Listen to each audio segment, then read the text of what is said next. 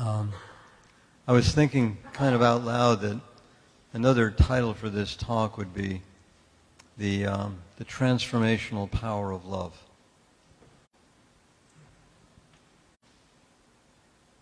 And I was thinking of myself for a moment there of when I first got into recovery years ago. Um, I didn't love myself very much. Didn't like myself very much. Didn't like anything, really, very much. Um, and yet I remember something that somebody, a friend of mine in Al Anon, told me probably after I had been in recovery for six months or so. She looked me in the eye and she said, We know you didn't love yourself very much. But we loved you until you began to love yourself. And I realized the truth of that. Even beyond my, my thinking, beyond my, my dreaming, looking back at what occurred in that particular time or that particular phase in my life was the realization that it was not something that I did or could do all by myself. But somehow or another, in a way that I cannot explain, the love of other people allowed me to transform myself and allowed me to find something that I could not find or did not know how to find on my own. You know, most of the time when we think of power, we think of control, dominating something, twisting things around till they become the shape that we want them to be in. But manipulation and control are really reflections of fear and inadequacy. They're not really. What we create out of control is not really what we want. I mean, you can actually feel it in your body. If you, if you imagine that you're trying to control something or really kind of wrestling with something, you can almost feel your whole body just automatically, just even thinking about it, just sort of tense up. Whereas the other side of things, real power, true power, as Yoda expressed to Luke Skywalker, the Jedi's power flows with the Force. It's not uptight. It's not trying to make something happen. It's what Ramisi talked about last week. It is aligning ourselves to the presence and the energy of unconditional love. Going to the Father, she called it. Not something out there, please, but something in here, going to the divine consciousness that is already within ourselves. True power comes from my alignment with the divine within. Or another way of putting that is my alignment with unconditional love. Years ago, I mean, you know, I told you that a while ago when I when somebody my age says years ago, I could be anywhere between two and fifty.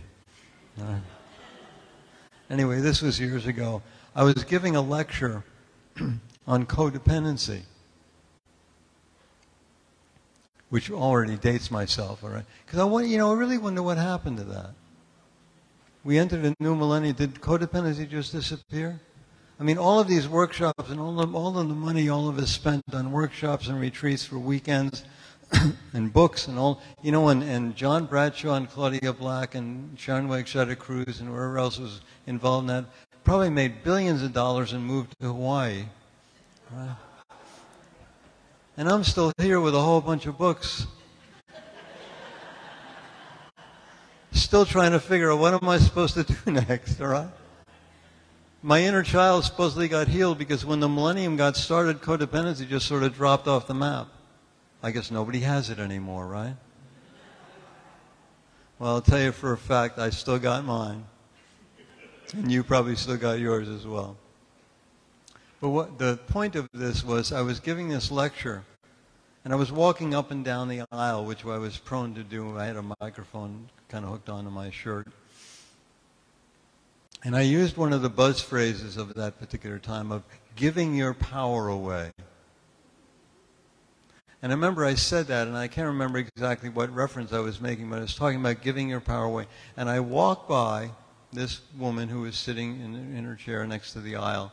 And I could hear her in sort of a stage whisper, loud enough for me to hear and probably for some other people here. She said, What power? And it was almost like a knife went into my heart. I said, You know, this woman has lived her whole existence without the realization that she has any personal power at all. None. What power? Of course, obviously, she wasn't watching SpongeBob with me when I was watching with my grandson. Remember that one? A couple of weeks ago when I said to myself, you know, if I have to watch another version of SpongeBob, I'm going to puke. I didn't say it out loud, but as soon as I had that thought, all of these little sea creatures surrounding Sponge start singing, the power within, the power within, the power within. Never forgot that. The power within. That might be a good place to start. Because my old definition, which probably fits today of what codependency is or was, is looking outside for what I can only really find inside. And that's really probably the truth of practically all addictions, if we want to put it that way. It's looking outside of me for something that I can only find inside. And so the most important question I can ask ourselves, including myself this morning, is what empowers you? It's not just about feeling good. It's not saying what makes me feel good. That, that's, that's nice, but that doesn't have anything to do with empowerment. That's fickle. Feelings are fickle.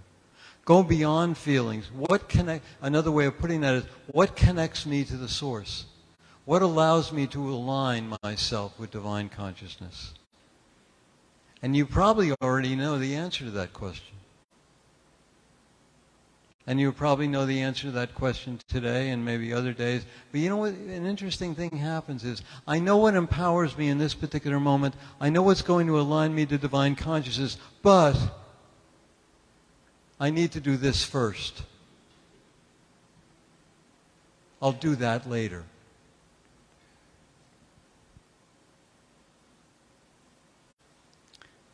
This new space that we've opened up for ourselves, that we've created, phenomenal. I mean, come walking in here on Sunday morning, and you know, the the, I, and I, as much as I loved our old sanctuary, we kind of outlived that. It's sort of like the, the shell got a little bit too small. And I don't know what, I know what was going on with me sometimes is, I didn't particularly like this, but it was true, is that I found out that I was becoming somewhat disempowered. That the building the place, which was kind of some ways sort of sucking us dry financially and spiritually in some other ways, was taking power away from me rather than giving power to me. Come walking in here, look at what, you, look at what you've created. And you didn't create, well, of course, this space existed before, but look at what you've created out of this space, out of this, this sanctuary. The beauty of it, the power of it. You come walking in here and you literally can experience yourself as being empowered, without a doubt. So, what empowers you? Music, gardening, cooking, helping somebody else, compassion, giving and receiving are the same. I mean, you make your own list. It was beautiful this morning watching the bell ringers. That was empowerment. People loving to do that and feeling, feeling the sound and the vibration that was coming around. It was beautiful. Thank you, Pat. That's empowerment.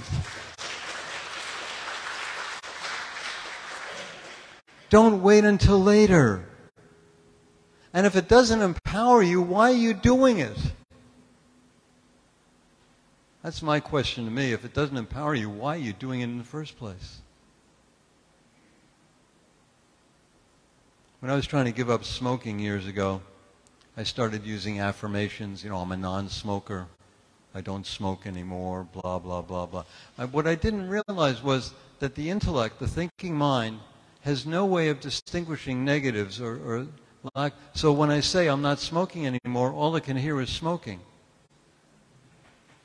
And I wondered what, what, what, what I was doing was, it was kind of confusing to me, but I was creating more of the energy that I didn't want. and kind of getting stuck and stuck in that loop, one after the other. I'm not smoking another. So I, until I realized I had to turn that around and make it into something like I am honoring every cell of my body. I am breathing in love and light and cleansing.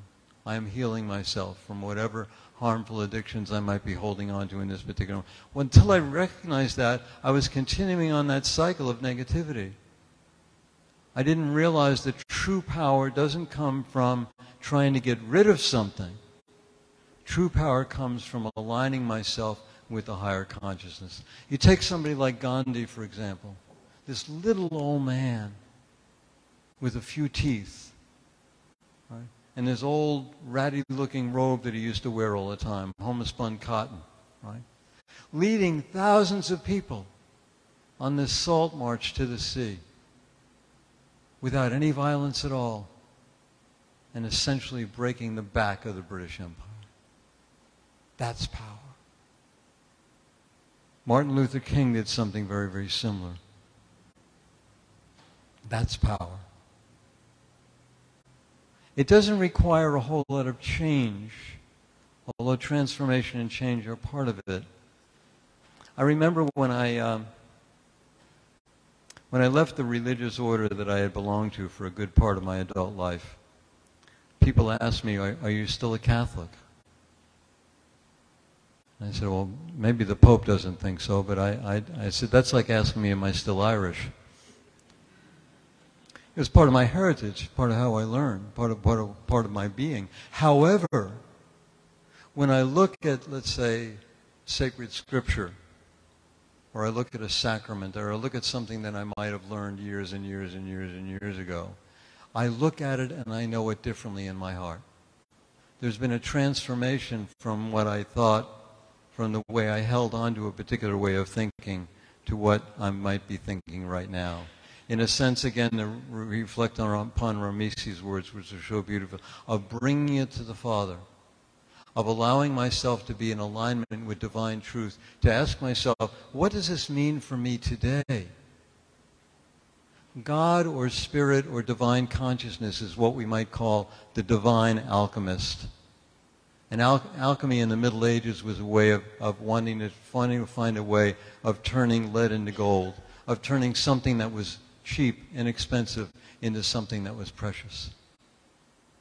And that's the essence, I believe, or one of the essences of this whole thing about transformation and power, power versus control. Cleaning the toilet can empower me if I do it with intention and do it with love. If I choose it to be an act of love. Thich Nhat Hanh was once, I remember listening to him speak one time, and he said, he said, the next time you do the dishes, imagine that each dish is a little baby Buddha. Oh. Instead of going, you know, and throwing it on the tray and drying them out, each, you know, this is a little baby Buddha. How gentle I'm going to be with that dish. How loving I'm going to be with it. How when I wipe it, I'm not going to be, I'm going to wipe it dry, wonderfully gentle, peaceful, nice. We could do that with anything. But I remember that line so beautifully. Imagine that each dish is a little baby Buddha. Imagine that each thing I do is the kind of like washing that little baby Buddha. Because so much of our growth is, is about, not about getting rid of something, but about transformation. Changing my way of thinking. And we have a wonderful model for that. Unfortunately, what happens with most of the models that really work in our lives is my intellect is always hungering for something more, something better, something bigger, something wider, something taller, something more dramatic. And so if I mention something like the St. Francis prayer, say, oh yeah, that's really nice, but I've heard that before. Give me something new. Give me something better. But my mind goes, yeah, but my heart, my soul goes, wait a minute. What's there for me? And so let's just take a minute with that if you don't mind. Lord, make me an instrument of your peace. Or in metaphysical or unity language, Lord, let me realize that I already am an instrument of your peace. That there's nothing you have to give me, it's already there, it's already true. Where there is hatred, let me sow love. Where there is lack, where there, where there is hatred is actually just something that's missing. It's a place where love ought to be, but it's not in my mind. It's a lack of it's like it's like darkness. Darkness is a nothing, right? Because once you turn on the light, it's not there anymore, right? Hatred is kind of like that. Once, once you open yourself to love and, and, and the transformational power of love, hatred is no longer there. It's like um, creativity in the vision of things when uh, Peace Pilgrim, whom some of you might be familiar with, who is a uh, wonderful angelic lady who made her transition a few years ago, but who is committed to bringing peace to the world. But one of the things she said, which, which really resonates with me so much, is that when enough people reach a state of inner peace, there will be no more war. When enough people reach a consciousness of inner peace, there will be no more war. And so reflecting on the metaphysical principle, right, if it's going on out there, or if I see it out there, guess where it's coming from? It's coming from in here. And when this is, when my heart is in the right place, when my vision is of inner peace, when I have that, I am not going to be seeing violence or hatred or anxiety or fear or separateness out there because it's already settled in here. Where there is injury, pardon.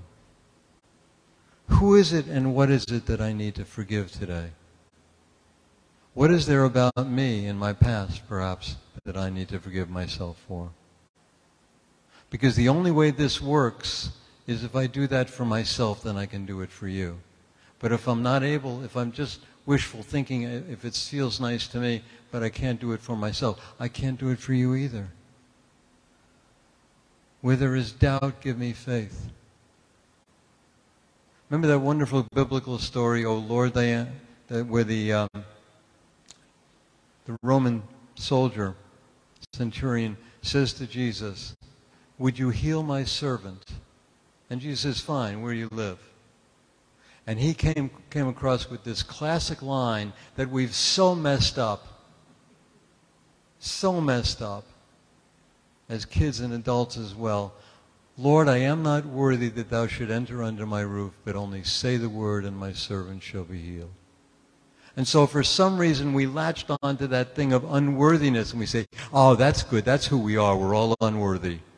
And we need to do something to make ourselves worthy, but, but nobody knows what that is. Because whatever, whatever you do is never enough. And all this guy was saying is, I don't want to bother you.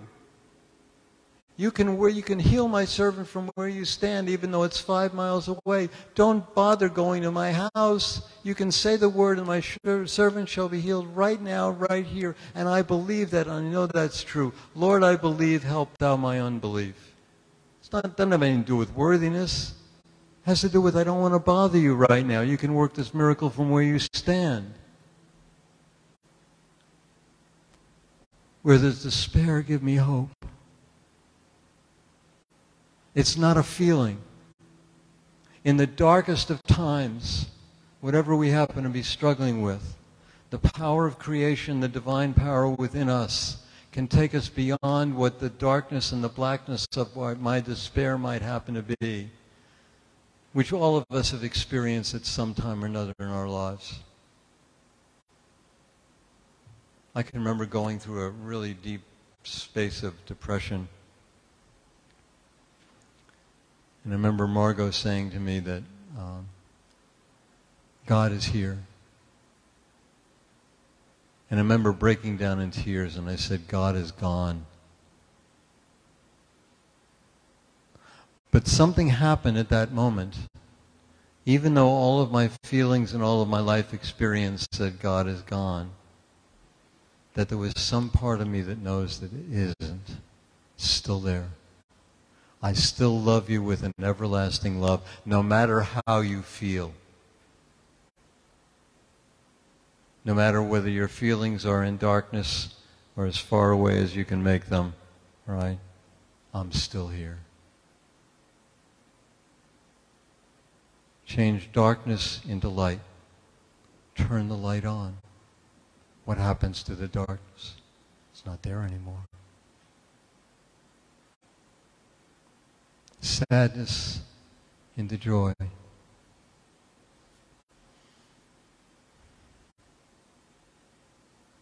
Sometimes I realize that even when my heart is breaking, because I can't love you as much as I would like to, there's a joyfulness that's hidden there someplace. There are times when I am on the edge of tears, and I couldn't tell you the difference between a tear of happiness and a tear of joy. It's just something going on within me in my connection with you that is producing something that goes beyond all thought, goes beyond all feelings. May I change lethargy into action, pettiness into gratitude. I've got a whole other sermon here, but I'm not going to give it to you tonight. I'll save it for another time. Let me just say quickly that another aspect of transformation is the power of creation, or another aspect of power is the power of creation. And we are always creating. Just like that song says, we're always praying. But uh, my question, I guess, is what are we praying for? What are we praying to? So we're either creating by default, unconsciously, that's why the wor- that's what the world we're living in right now is so nutso, right? We've created it without thinking about it. It's created out of a lower con- lower vibrational consciousness of my ego, right? That produces things that produce even more fear, separation, separateness, anger, closure. So what I'm again what I'm what I'm creating with unconsciously is the world that I see right now. I can change that. I can make that different you can make that different. By realizing that every moment of every day we have a choice we make. How do I choose? Do I choose, do I choose love or do I choose fear? Do I choose the projection of love or do I choose the projection of fear, fearfulness? Am I an instrument of peace or am I an instrument of outrage? I think I shared with you, I know I shared this with a class a while ago. One of my favorite bumper stickers was, if you're not outraged, you're not paying attention. And I went, yeah, that's me, I'm outraged. And I had to say, where's my outrage getting me? Just more outrage. Am I willing to let go of seeming what seems to be more important to my physical, mental, ego-centric self Am I willing to let go of that to be a participant in higher divine consciousness? So I'll end with the beginning of my question this morning. What empowers you? Whatever it is, simple as it might happen to be, what empowers you? Do it more often. And knowing that whatever you, whenever you do that more often, you are creating the space where you can make other things into, into visions or actions of empowerment as well. You can do anything as an act of love or as an act of empowerment. It's a choice we have. Do I do it unconsciously or do it in reality? Who am I to choose one way or the other? Lord, make me an instrument of your peace. Lord, let me know that I already am an instrument of your peace. And re- when I forget, please please, please remind me. May all beings be at peace. May all beings be free of suffering. May all beings remember who they are. Have a wonderful week. Thanks.